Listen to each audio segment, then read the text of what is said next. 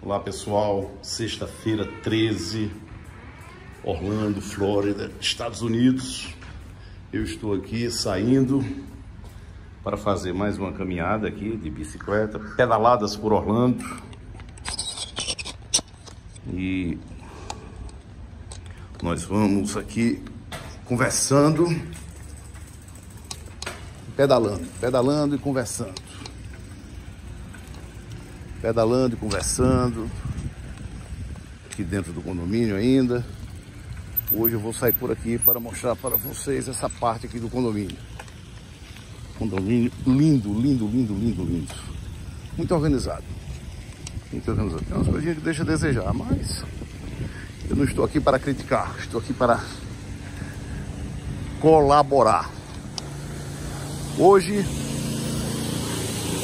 saio de casa, assustado com a proporção que esse coronavírus está tomando em todo o mundo, os animais.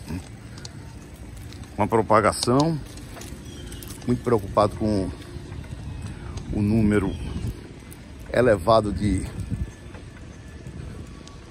de óbitos, especialmente na Europa. A coisa começou na China. China ainda é um país muito fechado. Então começou na China, os chineses inclusive ficaram, ah, os Estados Unidos fecharam as portas para os chineses aqui, faz alguns dias já. E ontem, essa semana agora, o presidente Trump resolveu restringir, restringir o acesso de aviões vindo da Europa, exceto da Grã-Bretanha, do Reino Unido. Reino Unido da Grã-Bretanha. Então, é, a situação fica complicada.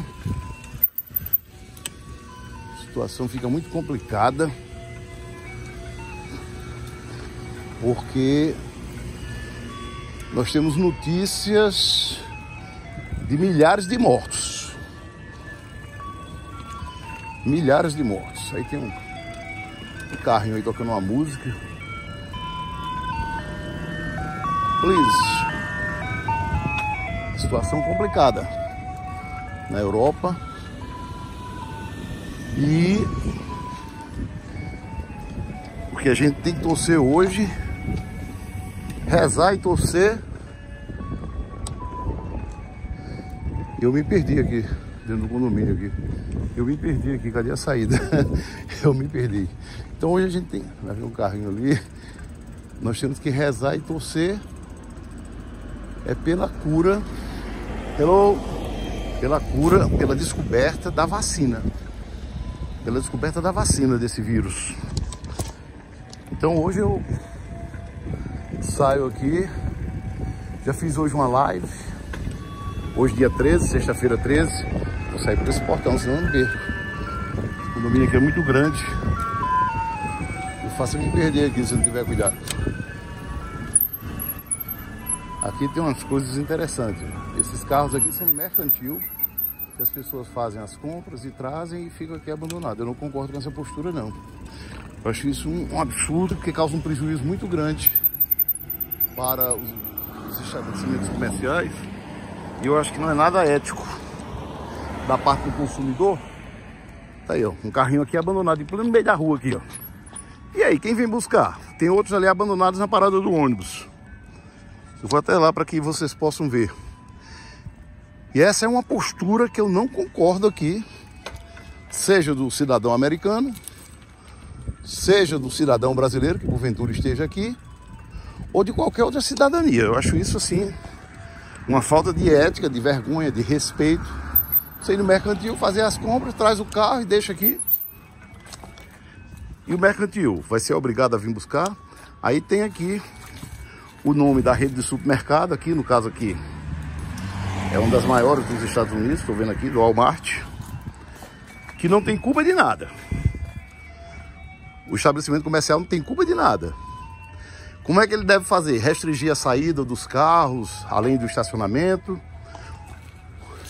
Ele vai lançar um programa de educação as pessoas vão ser obrigadas a a não fazer isso.